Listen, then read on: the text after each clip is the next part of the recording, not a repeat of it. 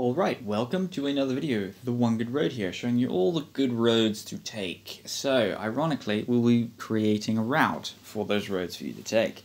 Um, yeah, today in this video I wanted to talk about um, how to create your own bicycle routes. Uh, I get this comment quite a few times on my Facebook stuff and on YouTube, and I wanted to just make a whole full-fledged video about it. I already made a how to make your own cycling routes, but now I wanted like discuss more in depth on how to create um, the routes and also plan them a little bit.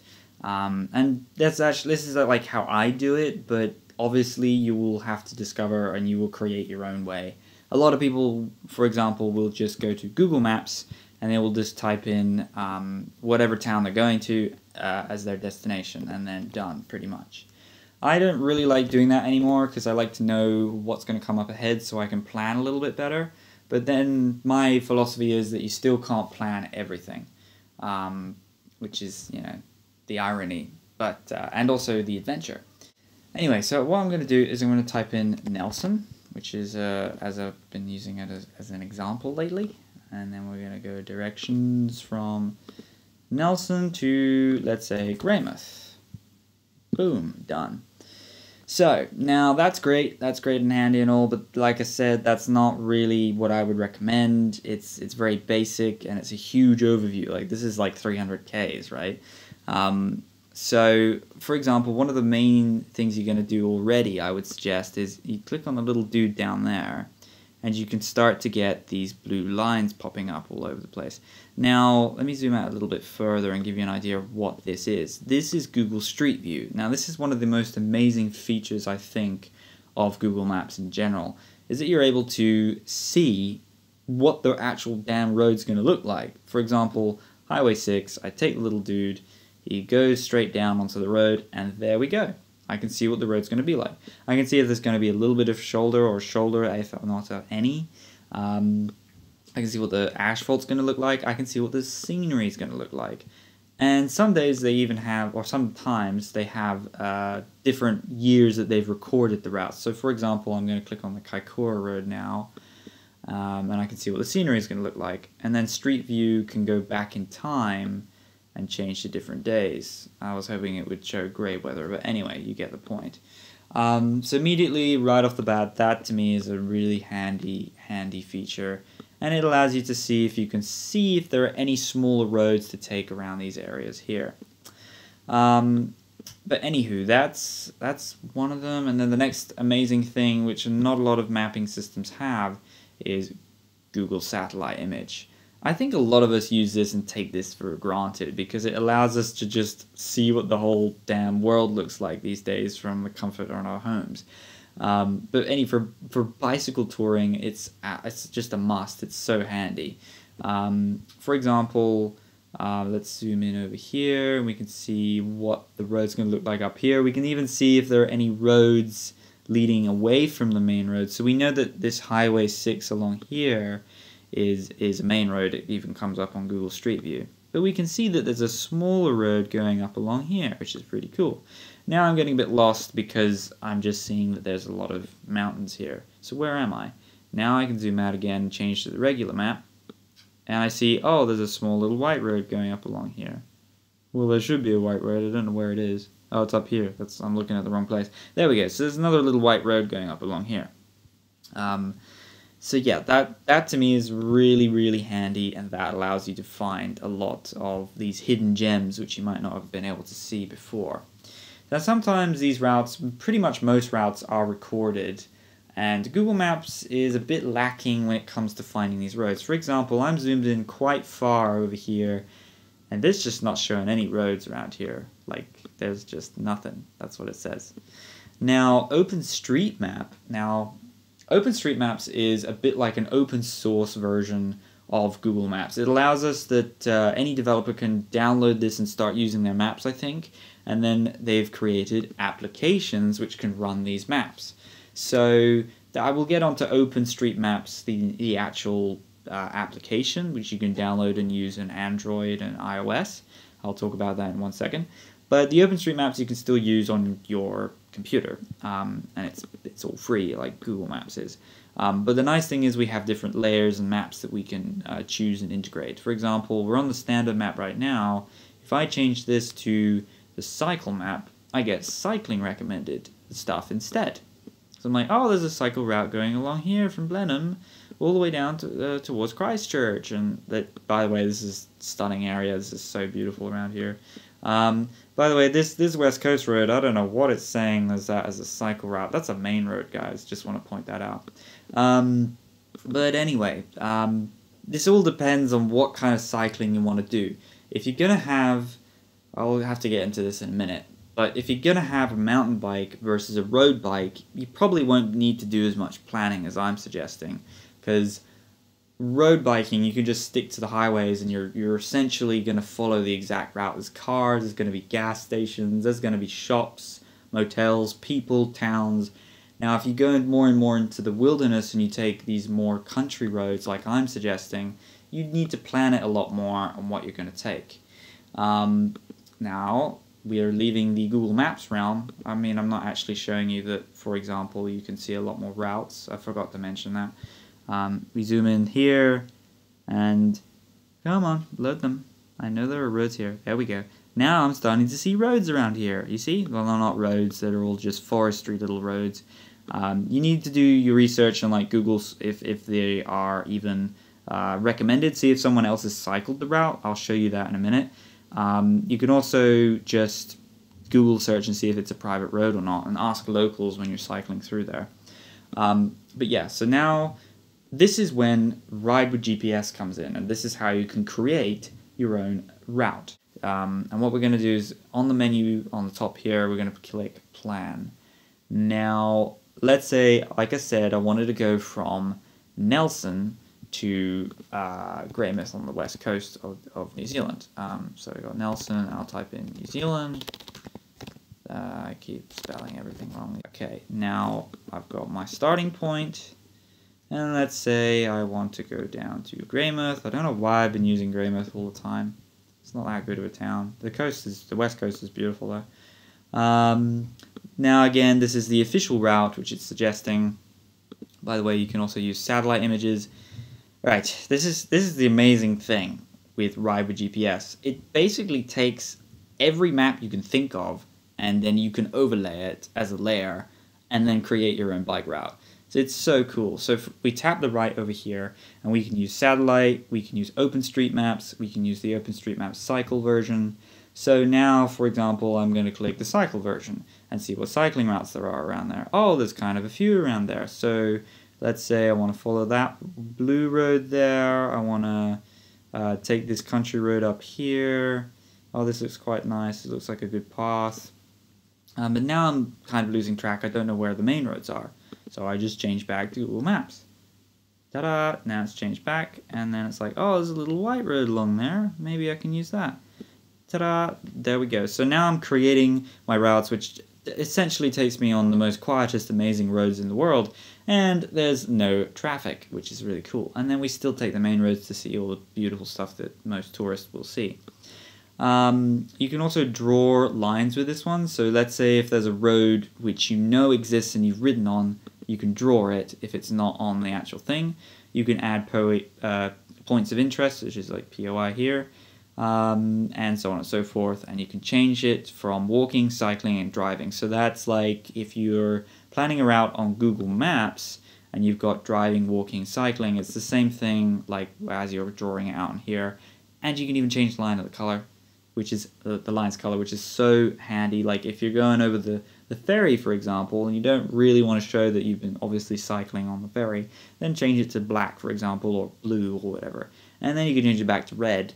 Uh, or if there's a really stunning scenic part, you could change that for green, for example, or something like that to highlight it and points of interest along the way, yada, yada, yada.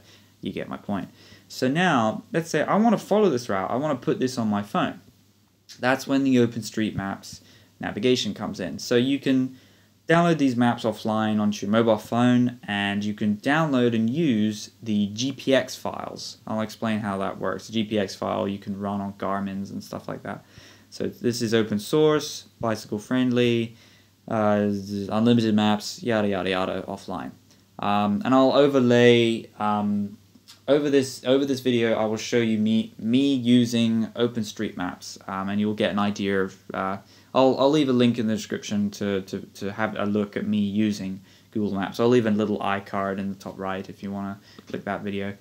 Um, so anyway, let's say we want to export this file and I want to be able to follow this on my phone.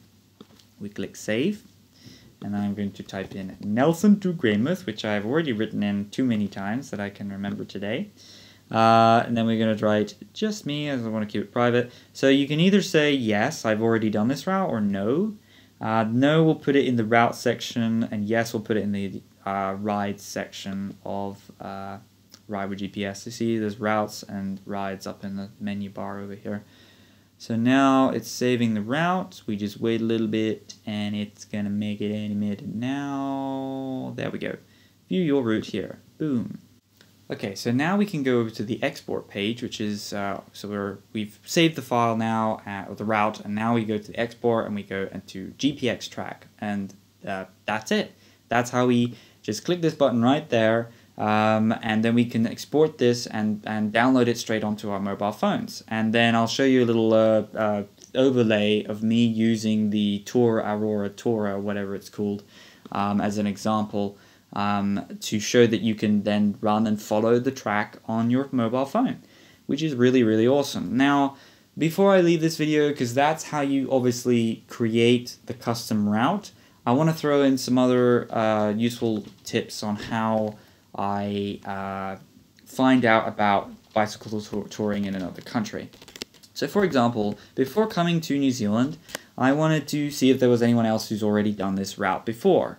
Um, and I, I found it a little bit tricky, but for example, there's this guy uh, who's from Holland, and he's also ridden uh, the from top to bottom of New Zealand. And he's actually made an entire video collection of, of him touring from top to bottom, and yeah, it's pretty cool. I recommend it if you can check out the Dutch Seaman over here. He also does sailing. Anyway, so he's left in the description, uh, here's my planned route. So then I click on this, and this leads me to Google My Maps. Google My Maps is really cool if you want to share maps, but I won't get into this video on how to do that. Um, I'm just showing you how to create these stuff yourself, and if you want to share it with people, then maybe this is a good way to use it through Google My Maps. Um, anyway, he's, I assume, downloaded the official route of New Zealand from top to bottom, this GPX file over here, and overlaid it over his route, and then added in his official routes, or his routes that he's done as well. Um, and that's that's it that's what I really recommend if you want to try and see if anyone else has done the route and you can download this this and then start using it on your phone for example. And also by watching other people's videos you can get an idea of what you're going to see along the way. There's tons of videos of New Zealand actually. There's there's like actually way too many. But um, anyway, that's you know, that's a little uh, tidbit for you. Uh, research before you go. Um, another thing is that you can't really plan anything, but um, okay, for example, let's say I want to know when the next town will be. So let's go over to the Nelson Greymouth thing again and see if it'll bring up my markers on my map of how many Ks it is the next town. There we go.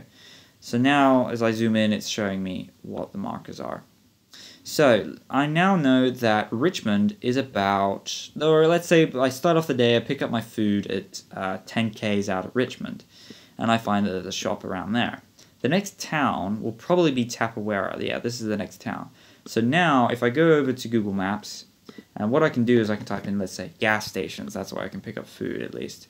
Um, now Tapawera comes up, and it says there's a gas station there. Perfect. So now I know there's one there. How many Ks is that between? Oh, roughly, for for argument's sake, this says 65 Ks. 10 Ks of that, it's 55 Ks out of Richmond. So now I know how much food I'm going to take. In my opinion, what you should do as a, as a ground basis, depending on where you are, for example, if you're in Australia or if you're in an area where water is so bloody scarce, you're going to have to carry 5 liters or more water and just carry enough water for the entire day to sustain yourself.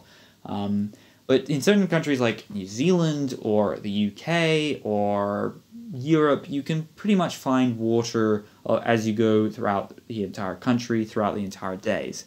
Um, so I would say that you can probably get away with carrying 1.5 to 1 liter of water a day, depending on who you are and how much water you want to have.